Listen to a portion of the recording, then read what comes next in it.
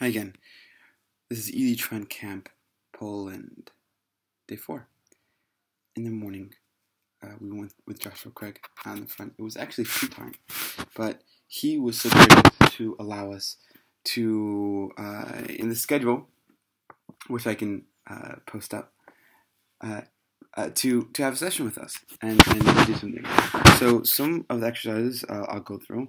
First one uh, at least to the best of my memory, some of them might be missed, and I uh, just remember uh, this is my interpretation, my understanding of what he was doing, uh, and it's not to say that he actually did these things, but but I'm trying to um, give you an idea at least of the exercise that was that was taking place, um, as to my recollection right after doing them.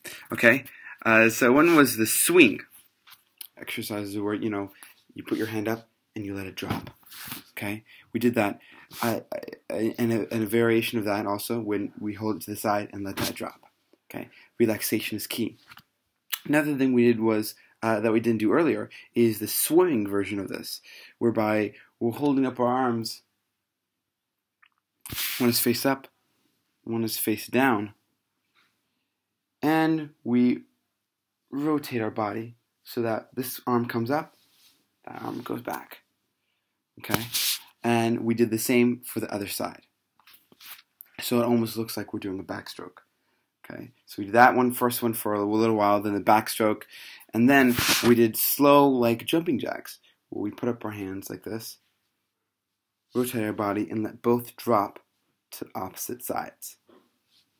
Coming up to the side, letting both see this. It was an even, letting both drop to the other side evenly. And it's easy to do it fast and mess it up, but to actually do it slowly and allow yourself the time to observe what's happening in your body, you're you're you're then able to do the exercise correctly. So getting just a physical structure was his key at that point. Um, but also you should be able to feel the the energies within your body, the condensing, expanding, uh, the going up and down. That should help you get that motion happening, um, and uh, and relaxation, keeping relaxed that's exercise number one, the, the swinging.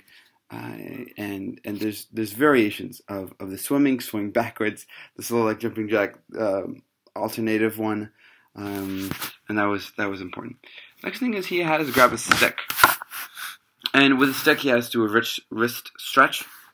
So we would twist our wrist all the way over here, and then we would get a little bit more. What is it over here, and then come up with the other side where the stick was, and, and then and then we would push it downwards so that we would twist and get a little more stretch out of our wrist. And we did the same for the other side.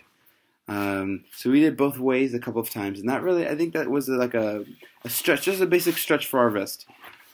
Uh, we also stretched our back, took our stick, uh, opened up so that we weren't contriving our way, and then had a stretch backwards like that. That was pretty nice. Um, has holding it backwards and then coming up just until just until we could. Um, you know, I'm not showing it very well because it's it's uh, it's a close space here. Um, but but that was that was interesting how we had the how we had us do that. Um, then we did a bit of squatting. It's interesting because I should show you it anyway. We came all the way down. We had our hands we had our hands up with a stick, and not to pull up with the knees was the key um, with our with our huge muscles here, but rather pulling up by our quad, our hip joints, and our glutes. That was the most important part of this. And those are good, wonderful muscles. Whereby the, you know the the knee doesn't have that many muscles. I'm uh, you know looking into it for the reason why he had us do that.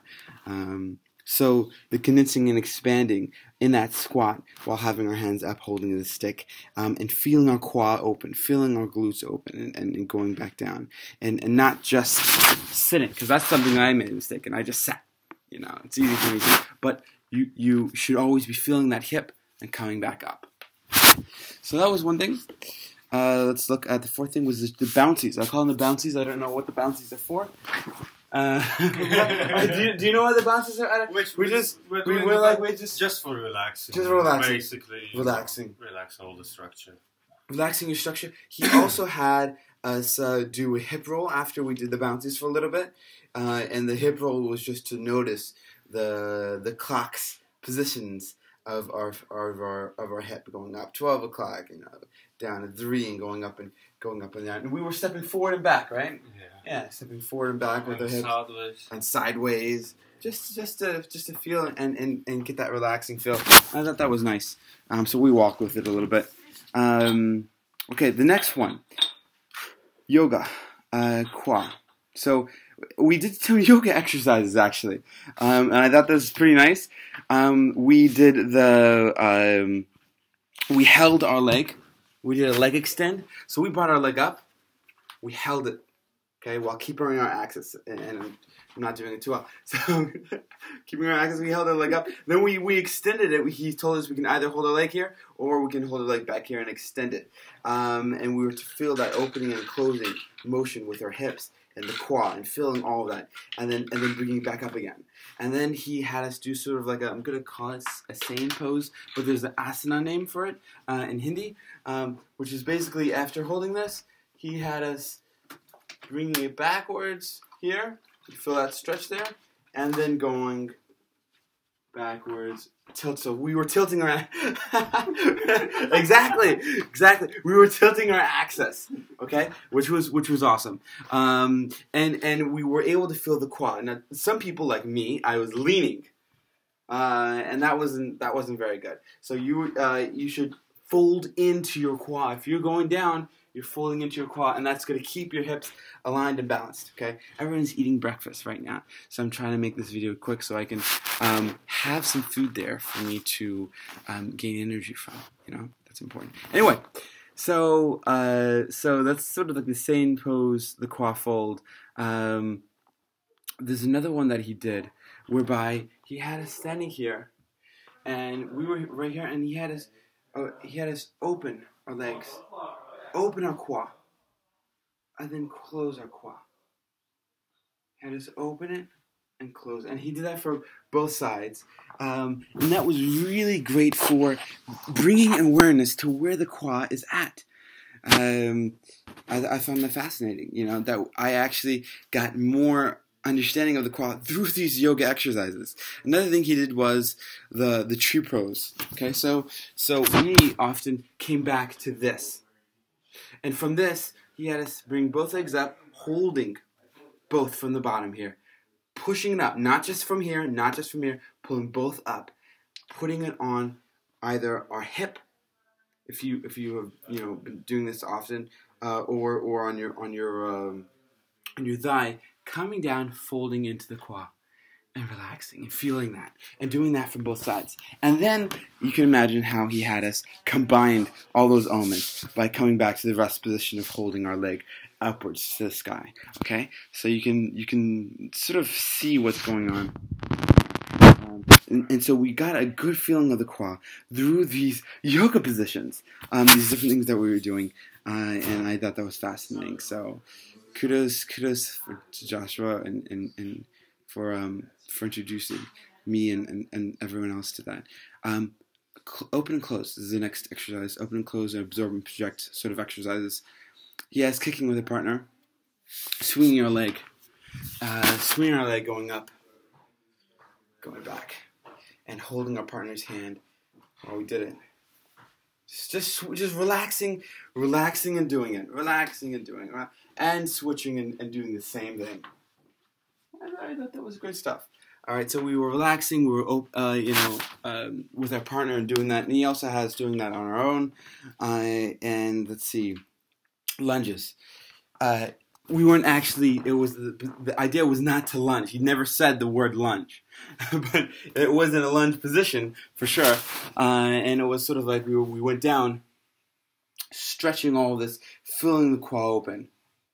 And I think we had our hands above us. Did we have our hands above us when we were doing the lunges? Did you eat breakfast already? Yeah, I ate breakfast. You ate breakfast already. Okay.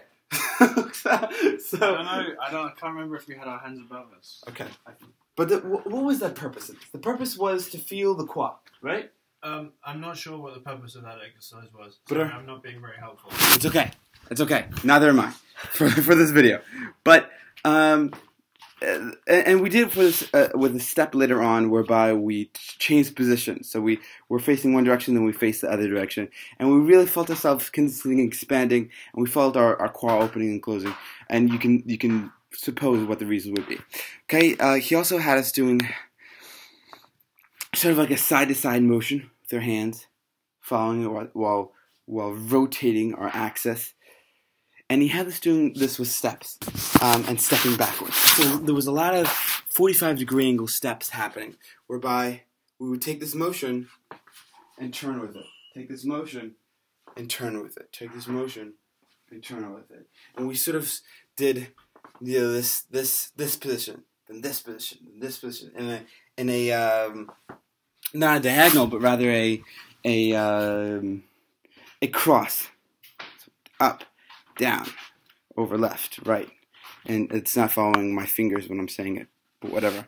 And then uh, he went, was doing, uh, let's see, hands in front. I'm going to call hands in front, step with project, and back with absorb. So uh, that's really confusing when I just said it. Um, but here, absorbing and stepping forward, condensing, coming back. Doing the same thing here. Know, was it was like this? Yeah, coming back, and then you know coming up and coming going back in, in that fashion, and, and absorbing and, and, projecting while doing all those things. And the same thing with the hands in front, and and so you're absorbing and, and projecting, and the same thing for coming back and and open.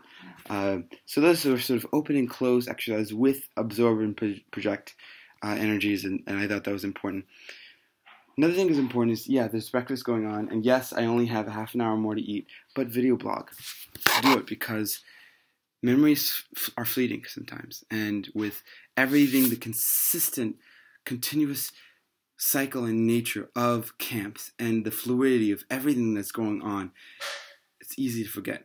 So, so for example, uh, I am doing day four morning without having done a total summary of day three because I felt really sleepy and tired after having um, done a lot yesterday. And there was a there was a night discussion with Joshua Craig uh, and talking with him and and, and discussing uh, the system guide. Read your system guides. Read the different books. Know your stuff. Um, is the, is the point of the story because a lot of the questions were simple. A lot of the questions and a lot this this art of Elu is uh, not to be complex. There's a lot of simplicity involved in it. But if you don't study it, if you don't see it, if you don't look at it, um, if you don't learn, if you don't try uh, to go after it, you just won't succeed in it. Uh, and and and that's really important to come to the realization of knowing this, these these elements. Uh, and, and, knowing the vocabulary, the language of it all, um, it's it's quite fascinating and important. So so when you're here, writing is nice. But if you want to be communicative, I'd say I recommend video blogging because I like it better. And maybe you do too since you're watching it. Who knows? So um, even though there's no time, and even though I have a half an hour left for, for eating food, when everyone right after exercise, one hour to, to have śniadania in Polish, meaning uh, breakfast, um, I came here and video blogged. I think that might um, that might be helpful to you and helpful for myself later on and many blessings. Have lots of fun with these exercises. There was, I mentioned, one, two, three, four, five. And, and we'll see what comes of uh, more later on. Bye.